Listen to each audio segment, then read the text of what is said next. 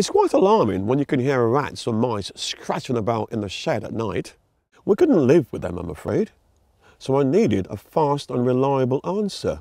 A trap seemed like the best solution here, and the fresh baited rat trap is a traditional design with some modern improvements. They are ready baited with a special attractant. You just have to remove the little bait cover so there's no wondering what to bait it with. I've placed it carefully in the shed and then set the trap. We caught her a rat on the first night, which was a big relief. The big cheese, pest control, problem solved.